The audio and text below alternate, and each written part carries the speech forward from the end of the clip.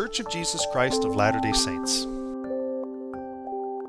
That's the official name for what is otherwise known as the Mormon Church.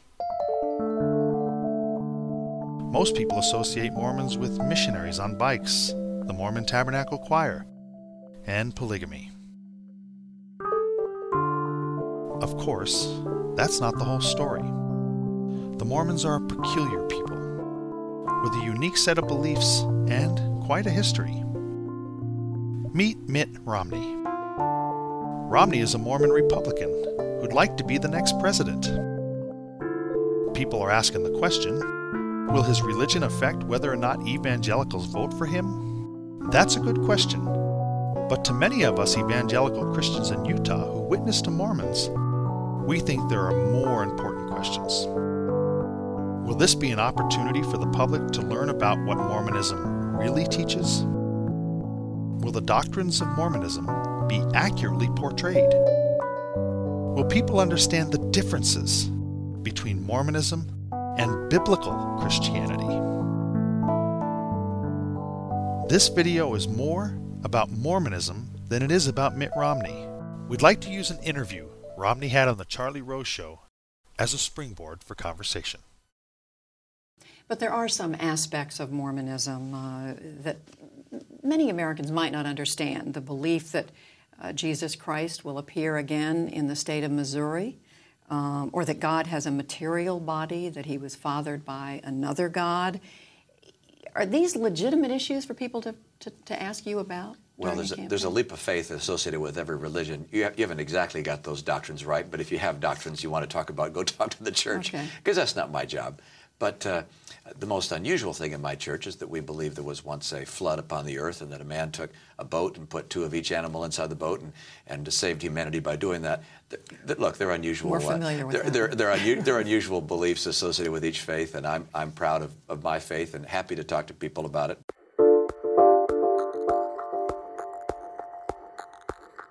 The idea that Adam is going to return uh, to the valley of Adam-ondi-Ahman is very much a part of Mormon doctrine. Mormons also believe, at least it's been taught by Mormon leaders, that Jesus himself will return to Adam-ondi-Ahman. This is an area located just north of a town called Gallatin, Missouri, in western Missouri.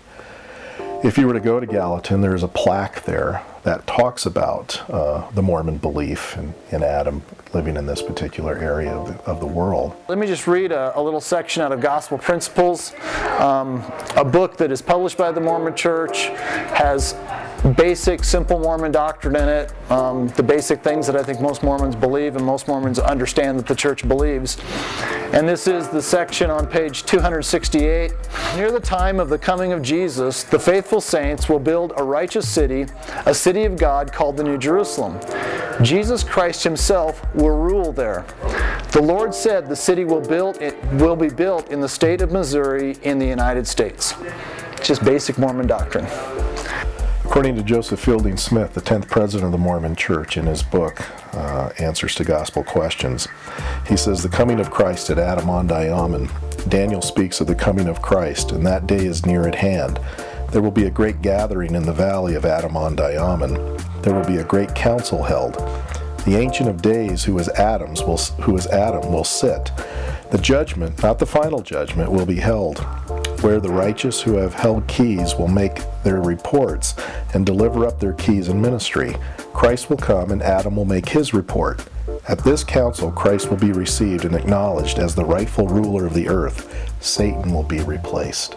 Joseph Fielding Smith, uh, in another volume of his book, uh, his book says, Daniel speaks of Adam as the Ancient of Days. In this dispensation, the Ancient of Days will sit in the valley of Adam-ondi-Ahman, and the judgment will be set. Christ will come and the kingdom will be turned over to Christ, and he will be sustained in his calling as King of Kings and Lord of Lords. That's volume 1, page 106, Doctrines of Salvation.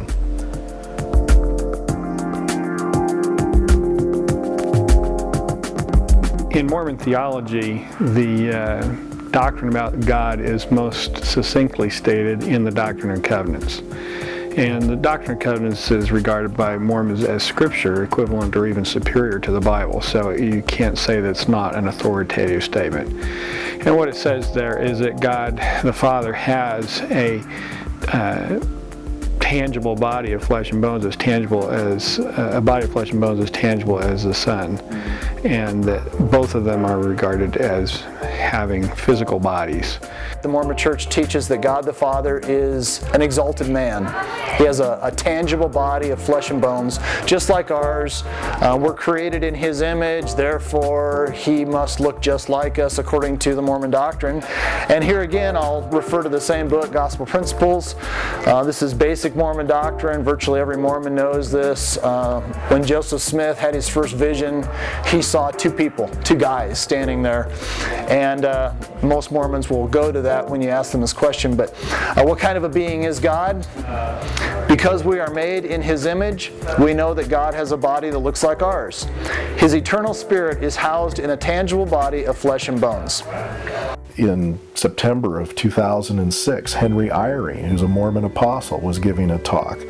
Uh, in a speech that he gave called Gifts of the Spirit for Hard Times, he said, I bear you my witness that God the Father lives, a glorified and exalted man. So the teaching is still there. For them, uh, matter itself is uh, a spiritual thing. Spirit is a matter, a material thing. They they, uh, they regard, and Joseph Smith even taught in the Doctrine and Covenants. He says there's no such thing as immaterial matter. He said that all matter and spirit itself is matter, but it's a pure kind of matter that you know you can't see it with your normal eyes, but you will one day have a, a you know a glorified body, and you will be able to see that it is in fact actually matter. And uh, so for Mormonism, um, God is an altogether corporeal being. Um, there's no such thing as a exalted God without or apart from his body. The idea that God is a glorified human was taught by Joseph Smith. Joseph Smith made it very clear that God himself was once as we are now, and as an exalted man sits enthroned in yonder heavens. He lives near a star or a planet, depending on which Mormon leader you listen to. It's been described both ways, but a place called Kolob. And uh, so they do believe that he is a human just like us. If, if if Joseph Smith said God himself was once as we are now, well, what are we now? Obviously, we, we have skin, we have hair, we have fingers, we have toes, we have eyes, we have a mind to reason. Um, if, if those words have any meaning at all, you would have to draw the conclusion that God was once a human like us. There's no escaping that.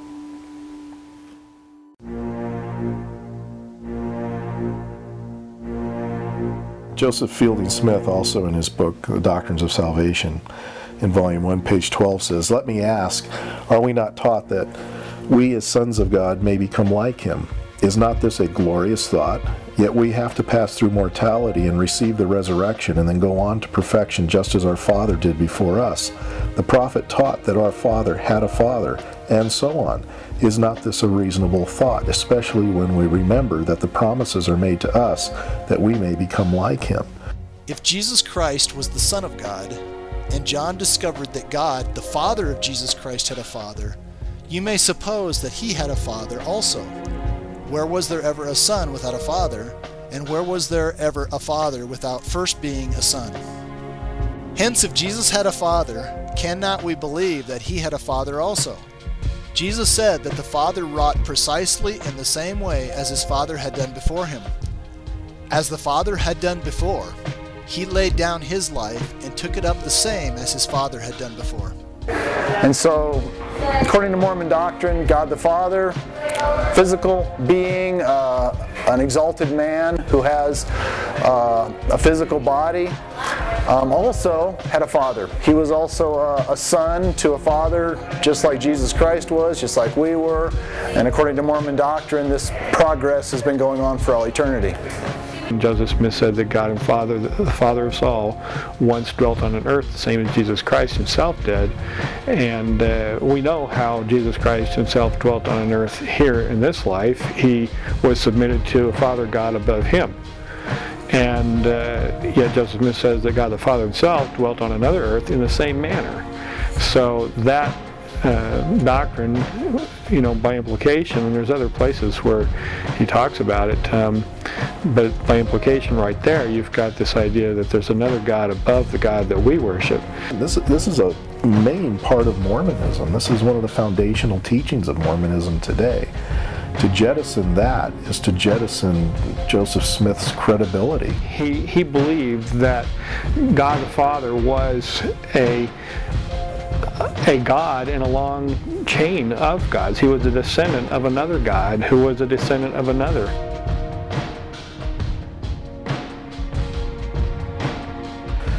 The, the problem, of course, for us as Christians is, is, is the, the God of the Bible is described as the God of gods at least five times.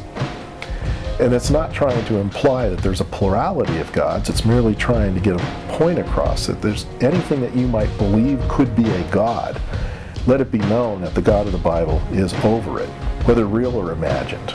And of course, it's imagined.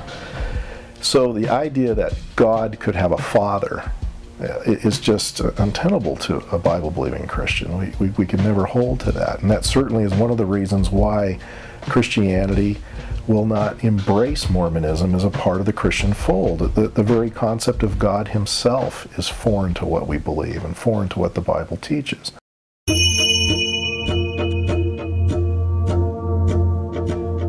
it's uh, really pretty, I think, disingenuous for Mr. Romney to suggest that belief in the flood is the most unusual thing about Mormonism. When I think of bizarre Mormon teachings, the flood does not come to mind. But what does come to mind is baptism for the dead.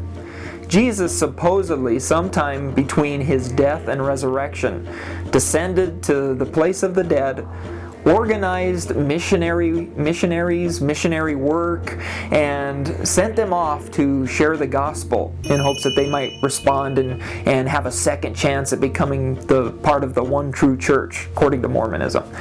Uh, but one of the things that is necessary according to Mormon doctrine people might hear the gospel, might respond to the gospel, but they need baptism. They need to be baptized. That's just, I think Bruce McConkie says that is the gate. Baptism is the gate that sets you on the path to the celestial kingdom. It's essential for remission of sins according to Mormon doctrine. So baptism for the dead is essential. Well, spirits aren't going to get baptized. So in Mormon doctrine, people who are alive on this earth right now, by proxy, get baptized for people who are dead. Within Mormonism, they teach that God the Father um, needed a wife in order to produce his spirit children. Uh, therefore, there is a heavenly Father and a heavenly Mother, uh, which the Bible speaks nothing of.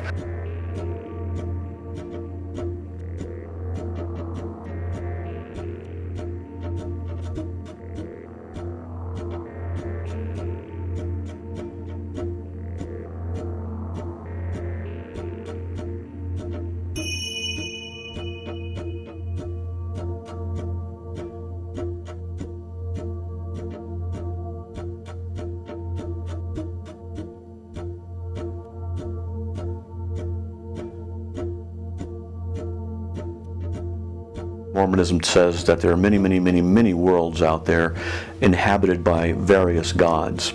And so in the Mormon pantheon, there's a countless number of gods and we are only on one of those planets where one of those gods is. Man is the child of God, formed in the divine image and endowed with divine attributes. And even as the infant son of our earthly father and mother is capable in due time of becoming a man, so the undeveloped offspring of celestial parentage is, in, is capable by experience through eons and ages of evolving into a God. We're going to somehow uh, be having universes of our own. I mean, it's a corruption of language, uh, but uh, universes of our own, and and still uh, governing worlds without number ourselves, and and still live in a family relationship in some central locale. It doesn't really make a lot of sense. Mormonism actually teaches that Jesus and Satan are siblings. Jesus, Satan, and everybody else that exists were all brothers and sisters in the pre existence. And to me, I mean, that is just so bizarre, especially in light of the Bible's teaching on both of those characters. God went through celestial marriage, has an eternal wife. We're going to go through celestial marriage, have an eternal wife, and then we will become gods just like God, just like our Heavenly Father, and we will father our own worlds. And we will become the God of our own worlds, and people will actually worship and pray to us like we worship and pray to our Heavenly Father. That's a very strange doctrine. That's, a, that's totally contrary to the Bible, uh, something that I think is a dangerous doctrine to teach people, especially when the Bible teaches that the reason that Satan fell in the first place was that he, he desired to be like God. And Satan, desiring to be like God, God cursed him. How could it be any different for a human being who desires to be like God?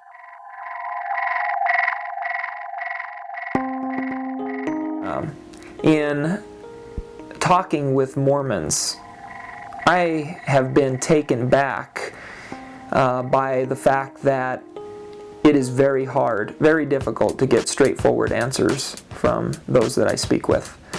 And so when, when people have asked me, you know, what, what, what has come as a shock to me, being here in Utah now for a year and a half, uh, I always tell them that it's, it's, it's tough to talk with them.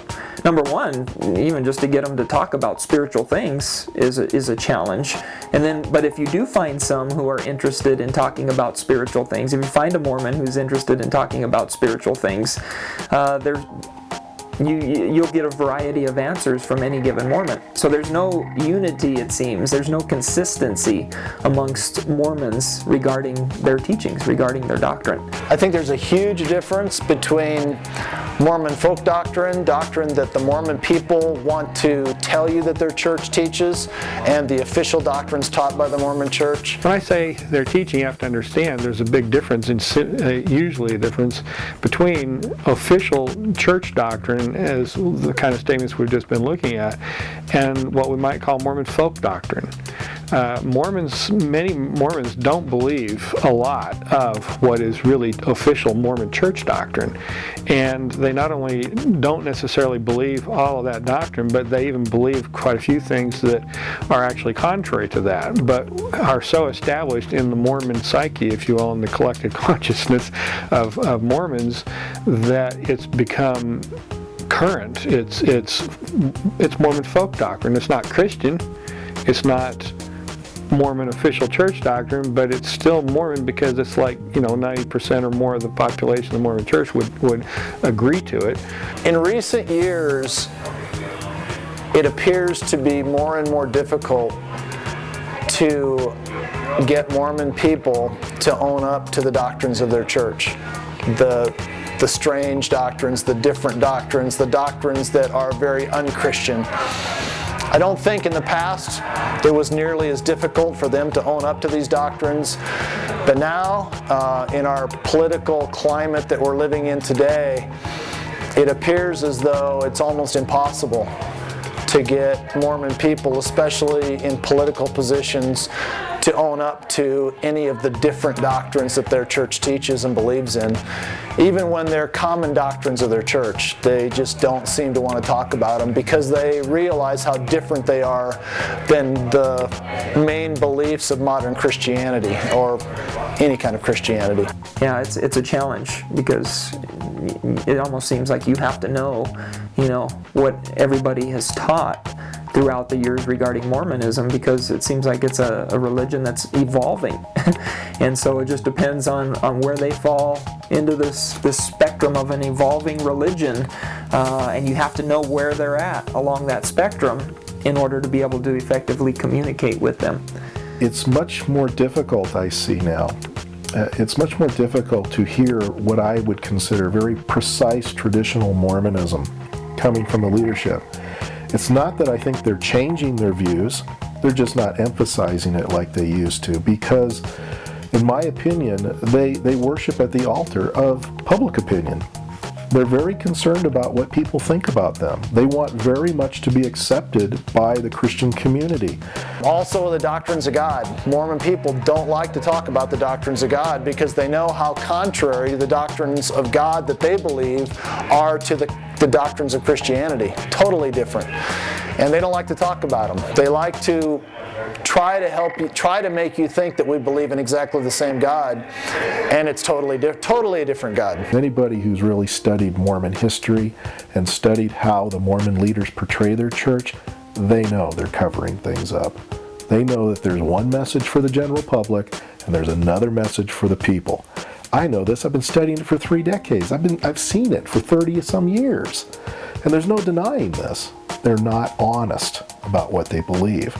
I think there are two sets of doctrine in the LDS Church. I've been a missionary, I know it, um, and there is a, a desire by, uh, I think, church membership overall to fit in to the general mold of Christianity. Um, and that said, I think I kind of call it this. I call it deep doctrine and missionary doctrine. If missionaries walk up to somebody on the street, the message they're going to present is yes, we believe in God. Uh, we believe in one God. We believe in Jesus Christ. We believe in articles of faith, you know. Um, and basically, the things I'm going to state, you're going to bear no conflict with, as you know, whether you're Baptist, Catholic, every, you know. I'm going to make some general beliefs like that. Um, but when you really get into it, our beliefs are very different than Christians, and I think that's where uh, you get some conflict when I've sat in the same room before with some of the students from Biola, and that, you know, I've listened to people debate back and forth, trying to mesh Mormonism into the Bible, trying to mesh the Bible into Mormonism, and and somehow try to form a union between these two religions. But they're two religions for a reason. They're different. You know, you guys are you know, mono, you know, monotheism. You believe in the Trinity. You believe in the Bible as the one Word of God and that's the end of it. You know, Mormonism believe polytheistic, polygamy, um, continued revelation. The Bible is not the one word of God. Um, so, so, many differences that are key, pivotal differences. And really, I think the only similarities that do exist are some common names and terms that we use, things like Jesus Christ, Holy Bible. But even our definitions of those things at the core are completely different. You know, and so, yeah, I definitely think that they're, from the church's standpoint, in hopes to gain converts. Um, yeah, there, there is some, uh, what's the word? Uh, I don't think that they're as clear as they always should be about doctrine.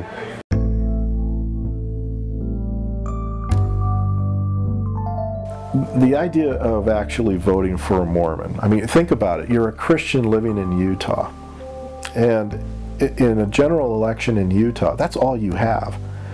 So if you were going to say just uh, just whole hog, there's no way that you can vote for a Mormon. You've really just, just disenfranchised every Bible believing Christian living in the state of Utah. Look inside the scripture, and there's two key passages, Romans 13 and 1 Peter chapter 3, that deal with government.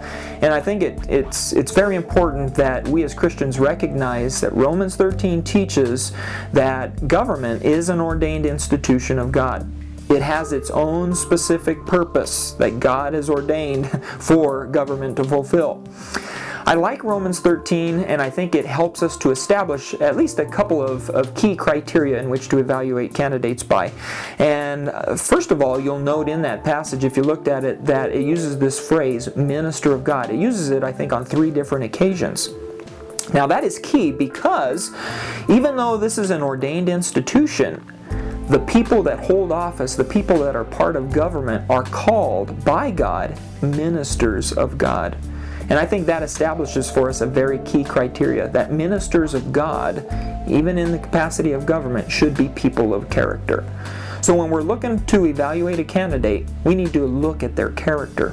But secondly, it gives us the specific purpose that God has ordained the institution of government for. And it says that that of course all authorities come from God. There is no authority that is, exists that wasn't established by God. And the government, it says in Romans 13, exists to do away with evil. The, it says that it's to, to bring about wrath on those that practice evil.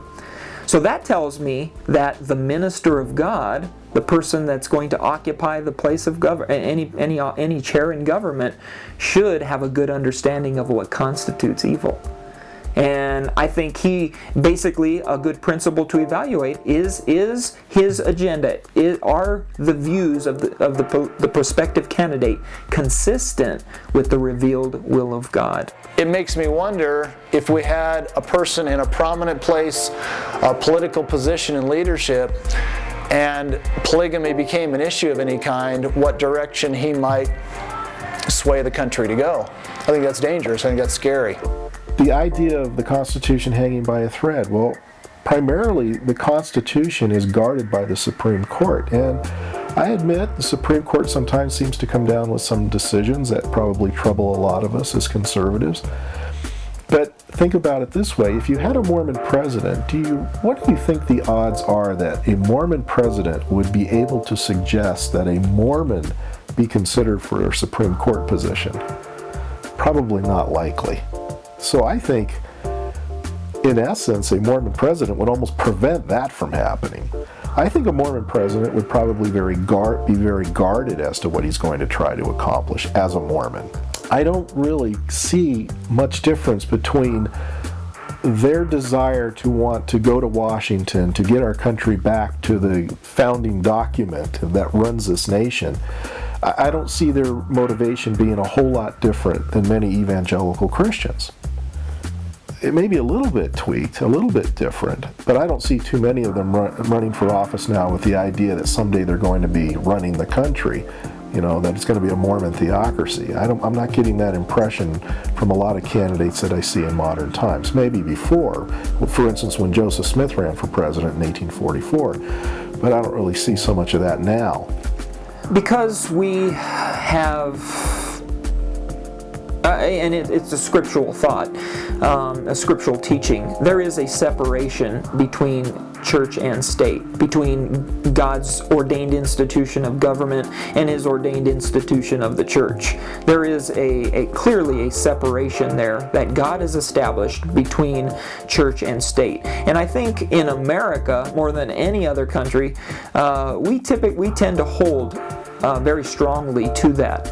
And so, even if there was a professing Christian, a somebody who practiced uh, Mormonism, who got in, who, who was running for office, would that preclude the Christian from from voting for somebody else that didn't hold the same beliefs, that they were not Christian? Say that say that say the gentleman was Mormon and he was running for president.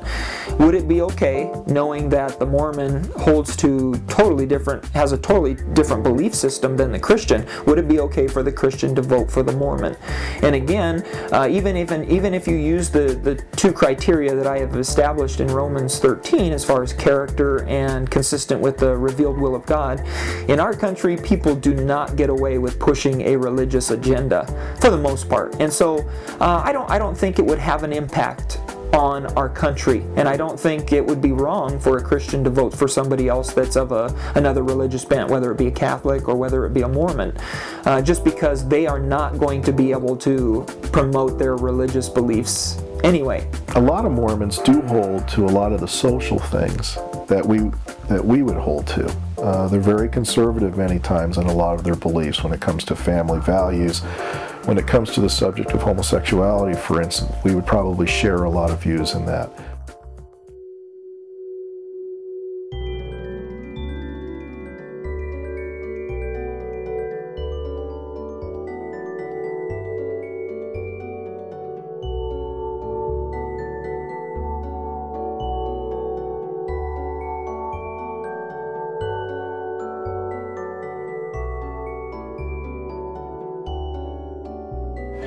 If, it came to choosing between somebody who is a member of what I consider a cult, I think that it would be dangerous to vote for that person. And that's what I believe. I, I mean, for me, it's, it's hard to, I mean, yeah, he holds a lot of our values, but man, to think of putting him in office in a position of that kind of leadership when he would be exalted by his cult as a huge religious person. Uh, I think that's a problem for me.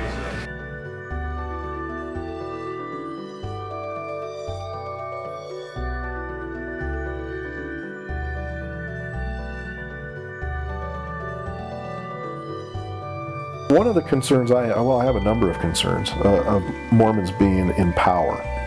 One is, is I firmly believe that whoever is running this country needs spiritual power, not just intellectual wisdom. You have a Mormon president, where is he going to turn for spiritual advice? You know, the thought of a Mormon president turning to someone like a Thomas Monson or a Boyd Packer, quite frankly, is very disconcerting to me. uh, I would I would like to see a, a Christian in there who can turn to godly men to give good counsel.